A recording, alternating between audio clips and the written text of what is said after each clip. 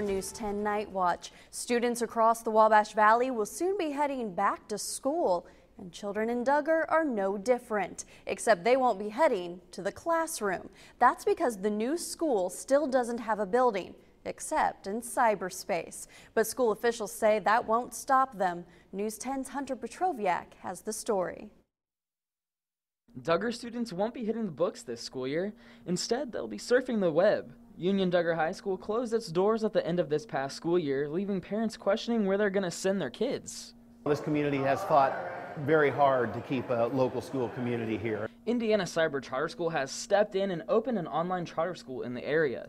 The charter school wants to have a hybrid style learning environment for students.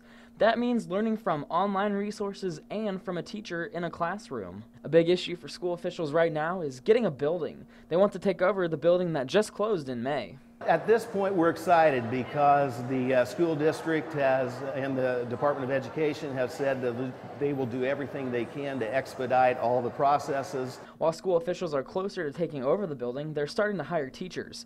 A question that was answered Sunday was who's paying for all of this?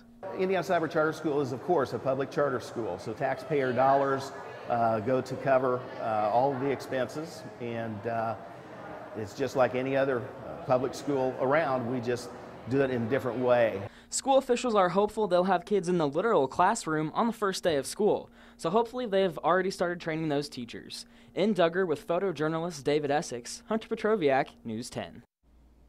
The charter school starts its session on August 25th.